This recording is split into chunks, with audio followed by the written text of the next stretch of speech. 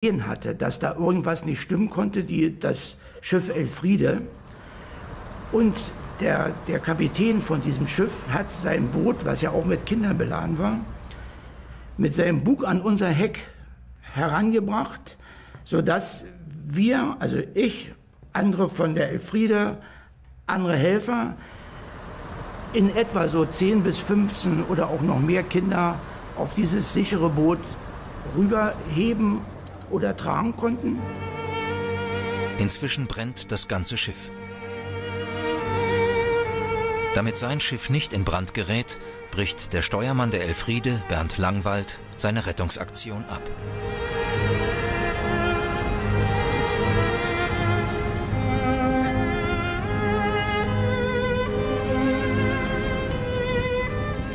Stand auf dem Schiff und hinter mir brannte alles. Alles war, als wenn noch meine, äh, hatte ich Angst und dann bin ich alleine runtergesprungen. Wie auf so eine Spitze stand ich und bin runtergesprungen. Meine Gedanken waren, du verbrennst, springst du runter. Ich konnte noch nicht schwimmen. Ich wusste aber, wie die Bewegungen sind, was man da tun muss, wenn man ins Wasser kommt. Und als das Feuer hinten immer größer wurde, sprang ich dann doch rein. Und habe so gepaddelt, wie ich es geübt hatte, und bin tatsächlich nicht untergegangen. Und dann hat man nur gesehen, wie erwachsene Personen die Kinder nehmen und sie aus Fenster schmeißen. Die Kinder sind raus und dann hat sich die am Berghaus festgehalten. Berghaus ist am Schiff draußen die Scheuerleiste, wie wir sagen, der Schiffer sagt. Ja. Und da kann sich nur einer festhalten immer und die anderen haben sich dann hinten an den Füßen festgehalten. Ja, bis der musste loslassen, der hatte der nicht mehr erhalten. Ne? Und dann, gluck, gluck, einer konnte vielleicht schwimmen davon und drei sind ertrunken die Schreie waren so grauenvoll, das glauben Sie ja nicht. Und dann die Kinder, die dann da runtergesprungen sind und manche noch brennend im Wasser gesprungen. Und naja, dann sind mehrere, darunter war ich dann auch gewesen, und sind dann drin gesprungen und sind dann hingemacht zu den Kindern. Weil die haben so gestrampelt und gezappelt und so weiter. Ne? Und dann haben wir da geholfen, die Kinder rauszuholen. Auch die Arbeiter, die an einer neuen Brücke über die Spree bauen, helfen ohne zu zögern und retten dadurch mehrere im Wasser treibende Kinder.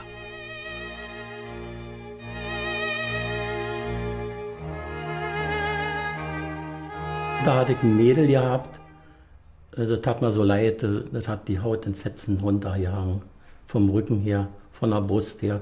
Die war so zwölf Jahre, das hing alles hier so runter und die hat geschrien wie am Spießer. Aus der Perspektive, wenn man so als Kind im Wasser ist, sieht man ja nicht allzu viel, aber da kam ein Ruderkahn.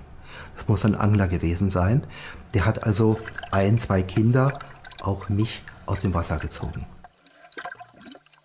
Dann weiß ich auch noch, dass neben mir ringsherum alles Menschen, als wenn einer so, wenn sie irgendwo angefasst haben, als wenn neben ihnen immer irgendeiner. Aber ich weiß, ich bin auch dreimal hochgekommen, das weiß ich auch ganz genau. Ich könnte dann ertrunken sein können. Bin es nicht, bin aufgewacht auf so einen Kahn, wie groß und klein, und vor mir hockte ein Mann. Wahrscheinlich haben sie Wiederlebungsversuche oder irgendwas gemacht. Und der guckte und, und ich guckte auch. Was er gesagt hat, das weiß ich auch nicht mehr. Und da war ich wach.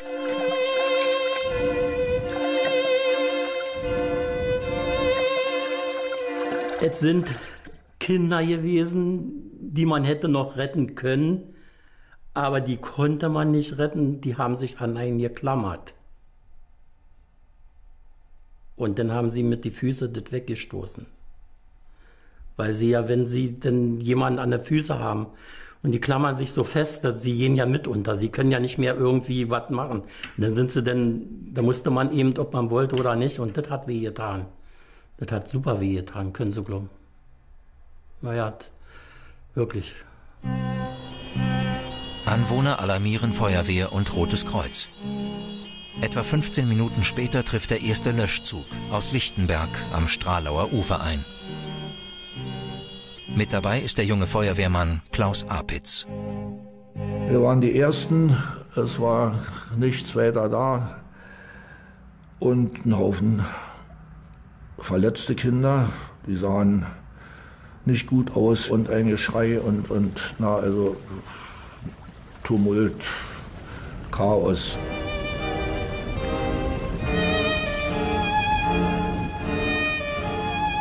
Die brennende Heimatland treibt unterdessen auf das Stralauer Ufer zu. Wir haben sofort als erstes das Löschfahrzeug, äh, wo, wir auch Verletzte mit transportiert haben, vollgeladen. Auf der Krankentrage eingehangen hatten wir eine Frau, es muss eine Lehrerin gewesen sein, und auf der Bank saß auch noch ein Lehrer mit. Die Frau selbst war unwahrscheinlich unter Schock, schlug um sich, traf natürlich die Kinder auf ihre verbrannten Arme und Köpfe und, und alles. Und musste also doch, äh, ich habe sie angeschrien und mir blieb nichts weiter übrig und siehe, da hat auch gewirkt. Das, das Schock irgendwie, ein Schock auf den anderen drauf, so ungefähr, hat funktioniert. So, saß auch noch ein Junge bei, den höre ich auch heute immer noch.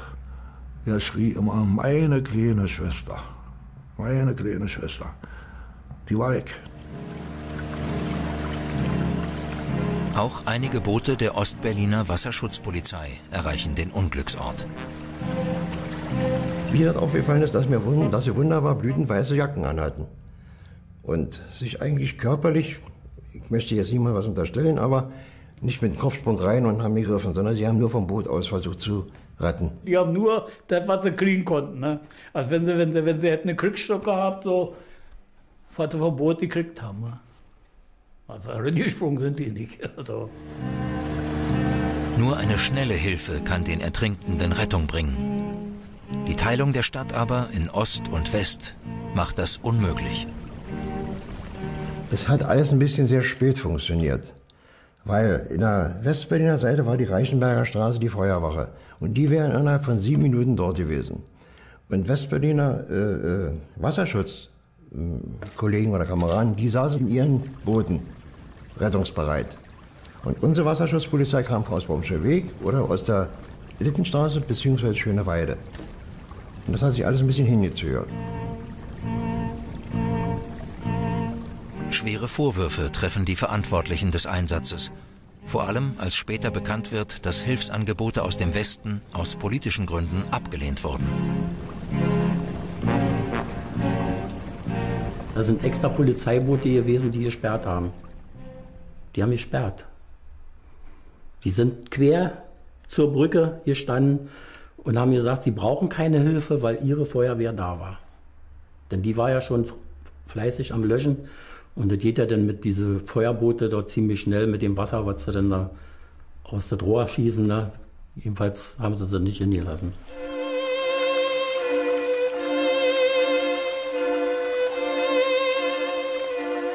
Kinder, die nur leicht verletzt sind, werden in die Poliklinik des nahen Elektroapparatewerkes gebracht. Der leitende Arzt erkennt das Ausmaß der Katastrophe und alarmiert sämtliche Krankenhäuser der Umgebung, damit sie sich auf die Aufnahme einer großen Anzahl schwer verletzter Kinder vorbereiten. Auch die Kreuzberger Krankenhäuser am Urban und Bethanien. Doch die Westberliner Kliniken wollen nur Kinder aufnehmen, deren Eltern bei einer westlichen Krankenkasse versichert sind.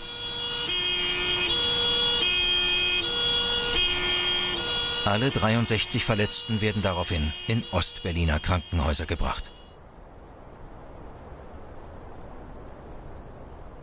Dort hat man uns in die Chirurgie gebracht und dort wurden wir versorgt.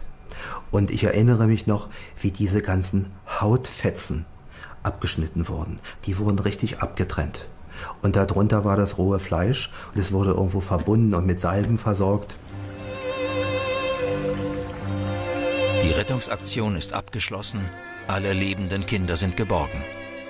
Das Wrack der Heimatland liegt ausgebrannt am Ufer.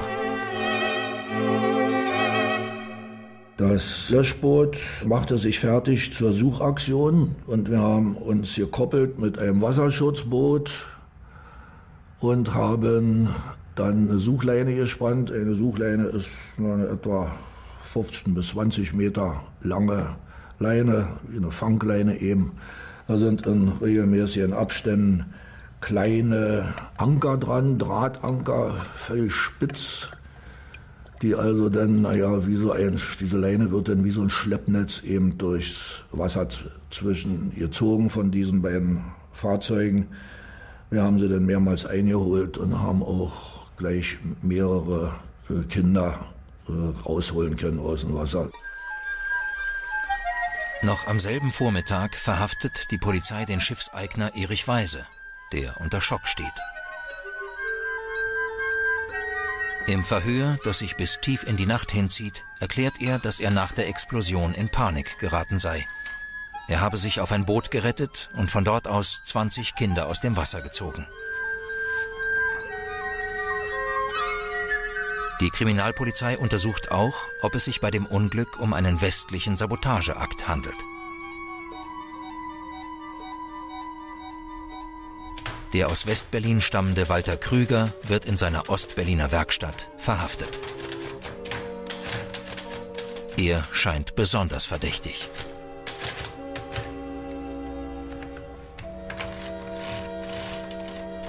Mein Vater hat ja jemand während der Verhaftung gesagt, dass er ihm leid tut, denn ähm, er hat ja niemanden, der, der seine Hände über ihn hält, weil er aus Westberlin ist und weil er nicht Mitglied einer Ost äh, ist.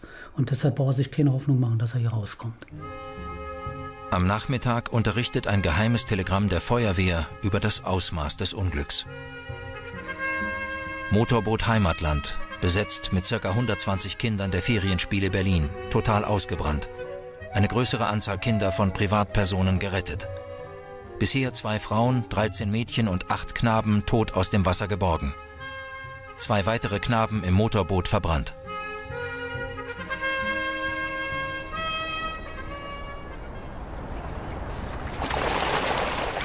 Während Ostberlin eine Nachrichtensperre verhängt, der auch die Krankenhäuser unterliegen, meldet der Westberliner Rias das Unglück noch am Vormittag. Die Nachricht verbreitet sich schnell in ganz Berlin.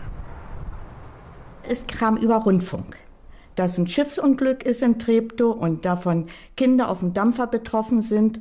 Und daraufhin haben meine Eltern sich äh, versucht zu erkundigen, sind nach Treptow gefahren, wurden aber nicht rangelassen. Viele Eltern fahren nach Treptow. Niemand weiß, welche Kinder sich tatsächlich auf der Heimatland befunden haben. Auch die Angehörigen von Angelika Sell machen sich auf die Suche. Reisweiler stand meine Oma und meine Mutti stand ähm, im Treptow. Und gehört hat sie früh morgens im Radio und da hat sie sämtliche Krankenhäuser angerufen und da waren wir nicht bei und deswegen sind die schon jeder auf dem Bahnhof um. Naja, und da war das auch schrecklich. Da haben uns welche am Arm gegriffen. Wo ist meine Tochter? Wo ist mein Sohn? Naja, wussten wir ja nicht. Auch die Eltern von Anita und Brigitte Karras machen sich Sorgen. Doch die beiden waren gar nicht auf der Heimatland, sondern auf einem anderen Ausflugsschiff. Und da sind wir nach Hause gekommen und auf einmal stand meine Mutter auf der Straße und auch mein Vater. Und die kamen uns schon entgegen und meine Mutter hat so geweint, uns in die Arme genommen und hat gesagt, Gott sei Dank, ihr lebt, ihr lebt. Berlin Kastanienallee. Hier befindet sich die dritte Hilfsschule Prenzlauer Berg. Ihre Schulleiterin ist Elisabeth Schmidt. Ich sehe über unseren Schulhof einen Schüler von mir kommen, den kleinen Günther. Ich war verwundert und sagte zu meiner Sekretärin,